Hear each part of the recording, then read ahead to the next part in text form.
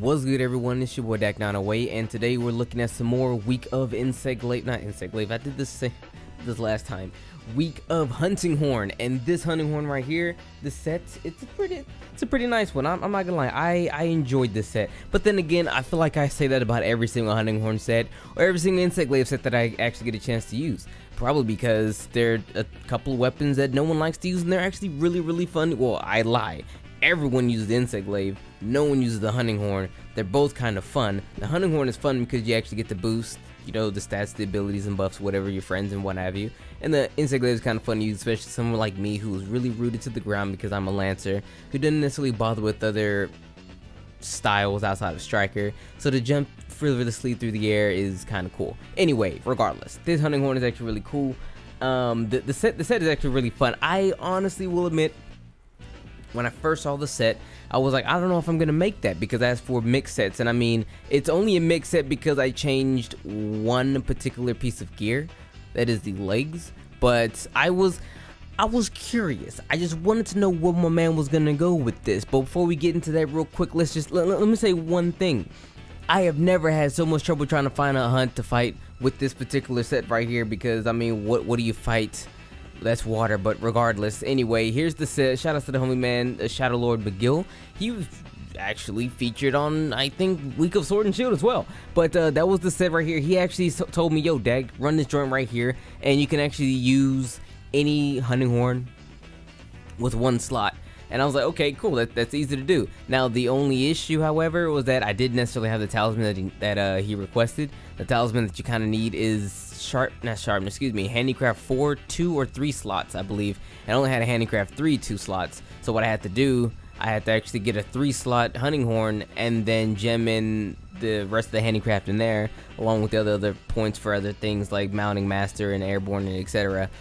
Honestly, you could probably make this set more more better. Wow, you can probably do a lot more with this set and have like a much better horn outside of the horn that I have right here, which is the Ketcha well, Kechaklanga, I believe. And it's only because I was limited on the particular hunting horns that had three slots that were actually kind of good that I could actually use the abilities that was given to me on this set with. But let's get into the skills of the set we are looking at sharpness plus two, which is something I never used sharpness plus two in this game because since they actually they nerfed sharpness and made it into sharpness plus one and two.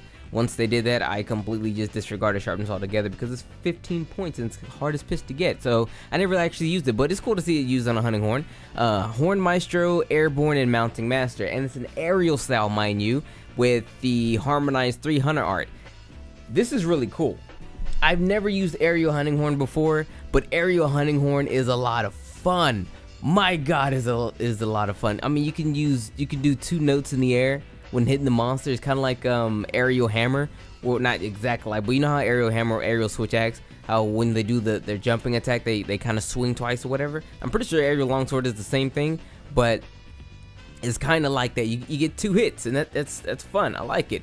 And the entire time you're in the air, you can actually switch buttons. You can switch buttons so you can play different notes when you're in the air attacking, even though the attack itself will still be the same exact attack. So it'll be the standard, you know, over under swing, but you can technically get your your X and A or your A or your A or your A and X or whatever. You know what I mean? You can, you can mix and match the the notes while still using the same exact attacks in the air. So that's cool. So what I would like to do uh, a lot honestly is actually like my the, the ones where I need two of one note I would just do that in the air and then play the rest on the ground. Or I would do those two in the air jump again and do the other two in the air and then come down and play the song. I mean it's really really cool. So shout out to my man for giving me this aerial hunting horn set. It actually worked very very well. With the mounting master and the airborne the airborne giving me more damage. The mounting master make sure that I get on the monster's back and stay on there a little longer. Not a little longer but I get on the monster's back more often than not which is kind of cool. So this is if anything a an attacking, I'd like to say, hunting horn set. I mean, yeah, you, are playing. I want to say that the, the benefit of it is to play the notes when you're doing the mounting,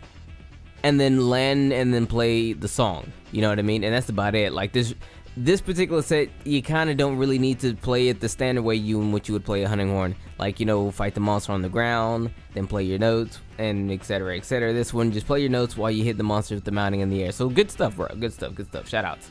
But um, yeah, the armor. So the armor, it's kind of interesting. It is Hyper Deviljho. So if you guys ever fought Hyper Deviljho, his quest is the Voracious King. It's kind of a hard quest to actually do.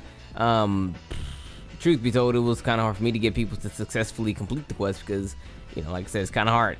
But it's that's for everything minus the legs. The legs you're actually going to be using standard high rank Kush legs because it gives handicraft 3 with one slot in it and the hyper deviljho legs gave handicraft 2 with no slots in it. No with two slots in or something like that or didn't get or something. There was a reason why. I was like why didn't you use this? But i looked and i was like okay i, I, I see i see. It, it, it, was it was it was cute.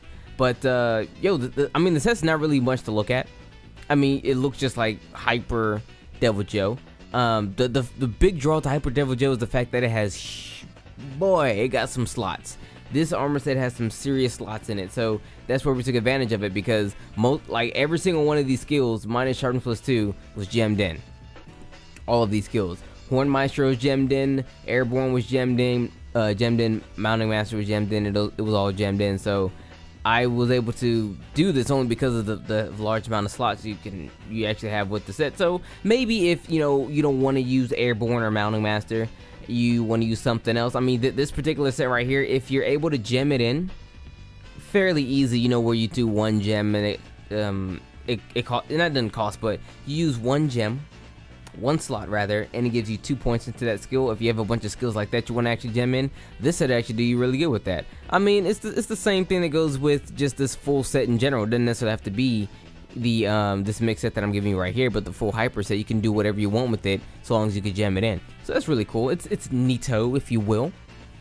But my man's hit me with this set, and I appreciate it because it's, it's kind of fun. You know what I mean? It's fun. It makes me want to venture more into aerial hunting horn uh, sets or just aerial hunting horn in general. Maybe make my own personal set of aerial hunting horn. Who knows? And uh, I, I probably I won't use this horn anymore. This horn isn't actually a very good horn truth be told. I mean, it's, it's all right. Like the combination that I kind of was using with it was I would play the, I don't think I did in this video too much, but I will play the, the health low song and then play the health high song and then kind of alternate between the two, make sure people had lots of health consistently because outside of those two songs, it had earplugs and bind resistance. Not very bad, but I mean, if bind resistance was switched out for like defense or attack, it'd be a top tier horn because they had two means of actually restoring health, as opposed to giving you a health boost, which is what a lot of other horns tend to have. Like, it gives you 50 points to your maximum health, as opposed to just healing you. Well, it does heal you, but it also gives you 50 points to your maximum health. So, I mean, it's kind of wishy-washy, because that song, in order to play it again, you must wait a considerable amount of time. However, with that being said, um, don't forget, guys, continue giving me your mix sets. You know, we are still doing Hunting Horn and the Insect Glaive. I don't know if there's any other hunting horn sets, or I, off top of my head right now, I can't think. If there's any more hunting, hunting horn sets someone people have actually recommended to me, or insect glaive sets people have recommended to me, and if you have recommended to me those sets and I haven't reached them yet, post in the comments section in this vi particular video because as I make more of these week up videos, I have to go way back into like like um, we're looking at like 15, 15, 20, almost 30 vid. Uh, week of sword and shield, great sword. Hunting Horn, Insect Glaive. We did another one, right? Sword and Shield, Great Sword. No, just just these four. Well, I'm, I'm just, mm, yeah, just these four. I'm having to go through all three, four of these and find these sets. So if you guys remember that you had a set that you wanted me to use, but I haven't used it yet, go ahead and drop it in the comment section, and I will surely get to it mad quick, like because I, I want to play more.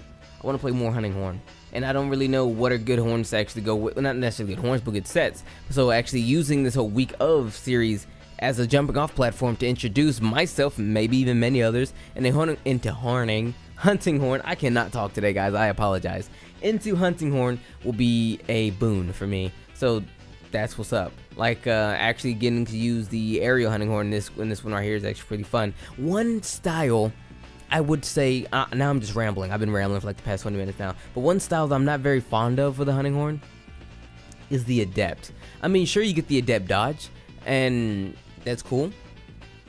The big, the big thing I don't really like about the adept dodge though for the horn is that you get a three-piece combo. You can actually roll out of the second attack of the combo but the three piece combo is kind of all you get out of it. I mean, it's, it's not bad. You That combo, no matter what, is the same combo all day, every day. So what you can technically do is you can actually, like you can with the air hunting horn, switch the buttons up as you please, but that's just that. Regardless, it's been your boy. You guys take care. I'm talking into the black now. So see you on the next video. Peace.